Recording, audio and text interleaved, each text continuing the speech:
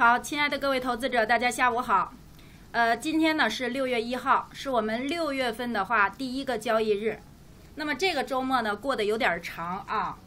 上个礼拜五呢，道琼斯标普五百和纳斯达克指数三大指数同时形成了这个微型的一个反转，也就是说明它强势反弹超过了零点六幺八。那么从周线上来看，三大指数已经殊途同殊同殊途同归，意思就是什么呀？它基本上走势是相同的了。我们上周也一直给大家讲“趋同”这个字，就是它一直在往同一个方向去走。那么前期的话呢，只有纳斯达克一个股一个指数独强，然后另外两个指数走的比较弱。那么这周呢，在周五收盘以后，晚些时候和周六呢，呃，有一个这个非常大的消息，大家也都看了，而且现在呢，几乎每个人都在谈论这个暴乱。那么暴乱来袭的话，美股何去何从呢？首先，你说这一次的暴乱，二十二个州，三十多个城市。这个同时暴乱，那么股票市场要大跌了吗？或者我们简单的说一句，暴乱等于股市一定暴跌吗？其实呢，市场它不是说简单的逻辑，暴乱就一定代表股票下跌，它最主要呢是要看资金的一个走向。那么我们看一下啊，这一轮的暴乱主要是通。因为这个社会治安或者说族群的矛盾，而它并没有上升到什么呀？就是推翻国家的这个现有的制度。所以说，其实市场的这个安全性它是没有变的。然后或者说我们美股的吸引力并没有变，全球的资金还是会回流到美国。所以说，如果我们说暴乱就等于股市一定暴跌，这个说法也不也欠科学啊。但是这一轮的话，你看啊。这个股市的这个这个暴乱呢，确实对股市会造成一定的影响。为什么这么说呢？大家看啊，基本上的话，这一轮这一次的暴乱，你看啊，基本上增加了多少人？首先有暴乱的人群，然后有警察，有军队。本来我们说经济这个重启的话，要求人和人之间的距离也是要超过一米的嘛。但是你看，现在这个大街上，我们看的从这个报道或图片上去看的话，人挨人。所以说，你说这个 COVID-19 有没有可能会复发呢？这个问题是不是我们需要去想的？会不会疫情这个再次感染呢？这个如果疫情感染的话，那这个股市就开始我们就会有不停的这个反复。我们一直去讲啊。现在影响股市最大的几个因素，第一就是 COVID-19，第二就是大选，第三呢就是这个曾经香港的一个治安问题。那么现在美国同样有这个暴乱的存在，那么这个暴乱又有可能引发疫情的二次爆发。如果啊能控制的好还 OK，如果啊真的说疫情结束或者疫情。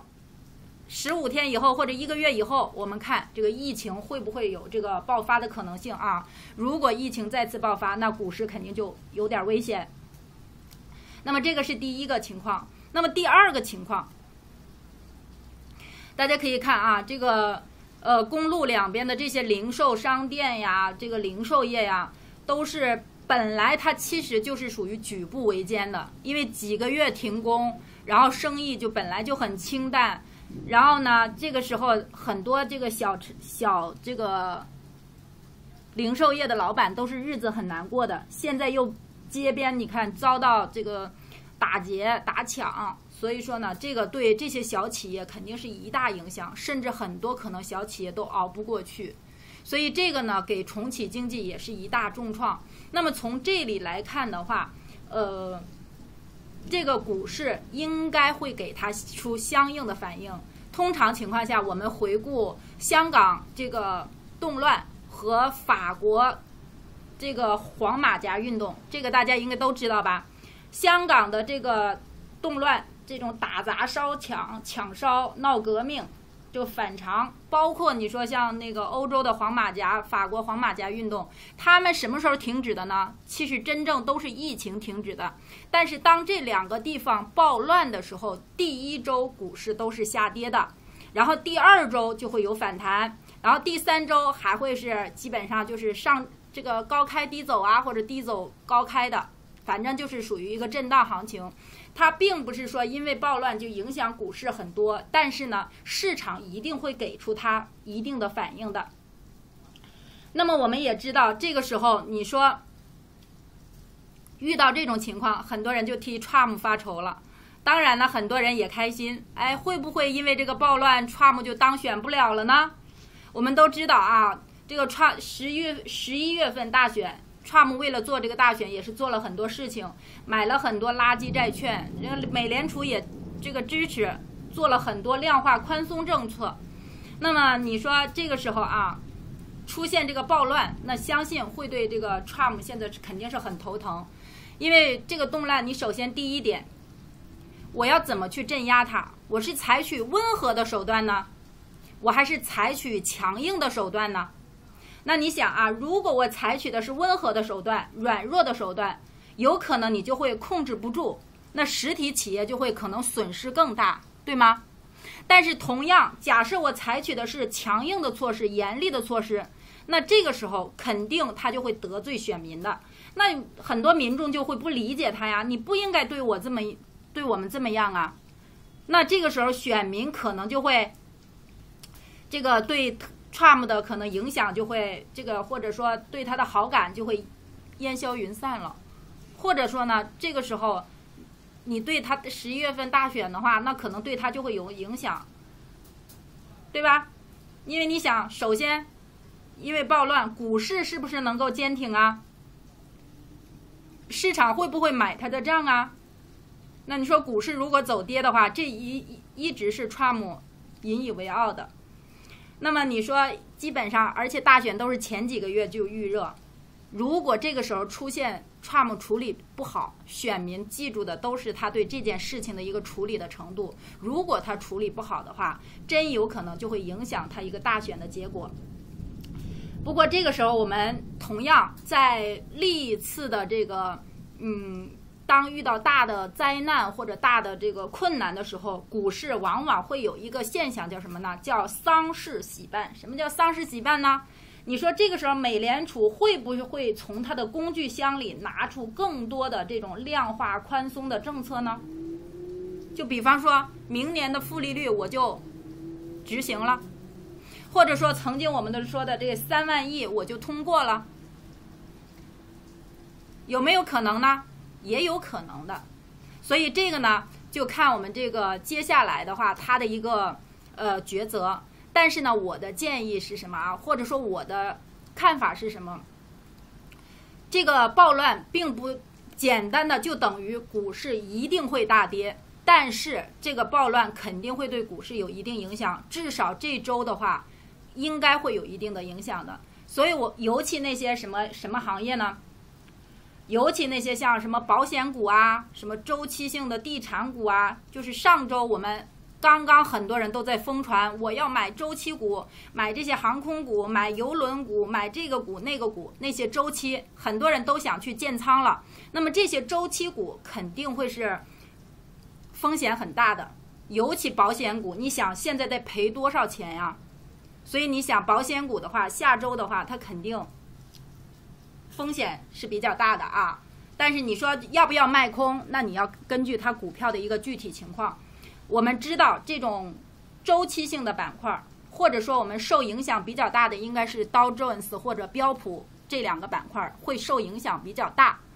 那么像它这些上周上涨的那些股票，可能都会现在触顶开始要回调。那么接下来要受益的板块有什么呀？比方说什么电商啊、游戏板块啊，或者说呃那种黄金呀，或者什么的，就是这种受益于这个暴乱以后，很多人不敢出去，他就得窝在家里。窝在家里干嘛？那就看打游戏啊，看这个电影啊，或者学习什么东西。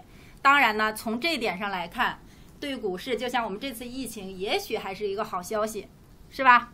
所以呢，它应该说啊，暴乱的话，它并不是说直接就一定对这个股市影响很大，但是肯定有影响的。我们要趋利趋避利害，呃，趋利避害啊，就是把那把这个板块呢研究明白。保险股的话，一般呐那种周期板块就少做，像电商、游戏的股票你可以去做呀，或者说那些高科技板块。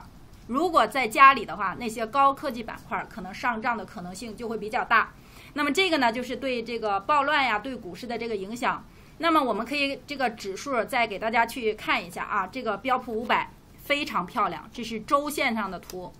周线上的图，上周给大家去看，它正好是什么，在彩虹线、黄色线受到阻力位，这是非常明显。而本周的话呢，成功跳上彩虹线、黄色线。那么这个彩虹线、黄色线呢？这个一旦突破以后，那这个黄色线就变成支撑了。那么因为这个暴乱，或者因为这个这个情况发生，股价有没有可能回调？就是因为这个情况，我回调啊，我回调到彩虹线这个黄色线，或者我回调到彩虹线蓝色线，这个 correction 在这个过程当中不断的去震荡呢？或者说我们这是去测试呢？因为本来就是现在股价在两百均线以上嘛，那么对应我们彩虹线，那就是黄色线、蓝色线之上啊，在蓝色线之上上穿两百日均线，现在回踩两百日均线嘛，那因为这个情况，可能就会围绕着在这个彩虹线、蓝色线、黄色线之之上，然后上下震荡，这个行情的走势是比较多的啊，所以非常明显，现在最关键的。支撑位是两千九百三十点，阻力位是多少？你看，如果真的上涨的话，它阻力是三千两百点，三千一百五十点。当然呢，这个是周线上去看的啊，因为我们现在是一周的开始，所以大家可以从周线上去分析一下这个股市。包括你看看完这个以后呢，我们看一下 Dow Jones，Dow Jones 它的周线是什么样子的呢？我们看一下周线啊。从这上去看的话，它到 Jones 的周线的话，它是现在正好在彩虹线蓝色线上，然后还没有突破黄色线。这个呢，现在这是一个关键的一个阻力位的位置，周线上，所以这个呢是一个大的一个阻挡，这个是一个阻挡啊。所以我们去看的话，我们知道从这里起来以后，现在遇到这个阻力的位置，这是中期。那么我们再看纳斯达克。纳斯达克呢，现在是我们上周也讲了，它是一个关键的一个缺口，又是皇太极的这个位置。这个咱们上周一给大家讲完以后啊，基本上股价就是在这个缺口之间在震荡，这个缺口的有效作用。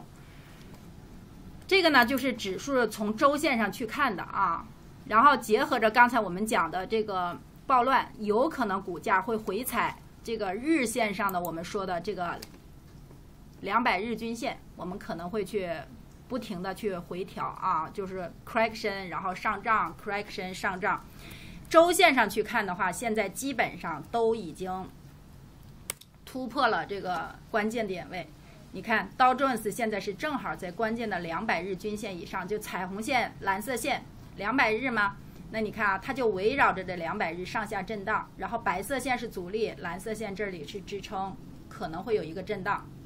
好吧，不管怎么样啊，大家知道股市的一个大概的走势受这个事件影响，但是本质，股票的运行的本质还是要看资金的流向。资金上周的话是从科技股流向很多周期股，那么本周有可能就会从这些周期股流向高科技股，还有那些就是对，就是电商啊、游戏啊这些高科技的这个板块啊。所以大家知道这个就行了，好吧？我们今天就讲到这儿，谢谢大家。